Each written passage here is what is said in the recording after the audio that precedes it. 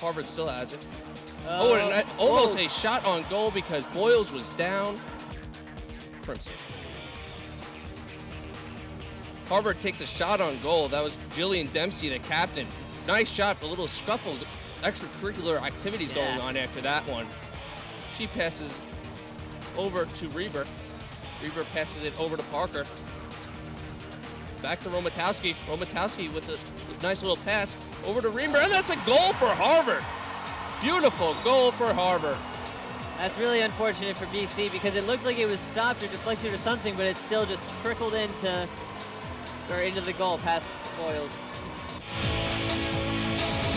It off to number 22, Skarupa. The fir- second line is out. Skarupa oh. tried to went through, go through the legs of a Harvard defender, but somehow gets it in the goal. I don't know how that happened That because was- it looked like Maschmeyer was already in the position, but the goal went through her legs.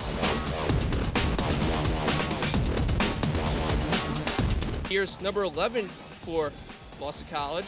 Puts in a shot, and it scores. That's Caitlin Walsh. She just went on her own and just zipped it in. That was a beautiful shot, beautiful goal, and Boston College is up by a score of 2 to 1 with, with only with 17 1749 to go in the second period.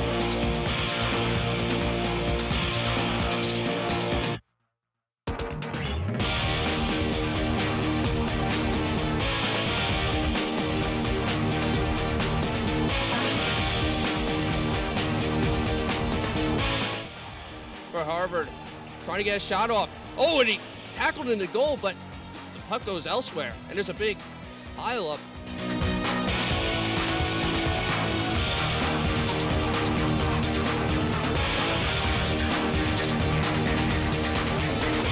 Breakaway by Sperling. She's being guarded a little bit, but she gets a nice shot off. Save.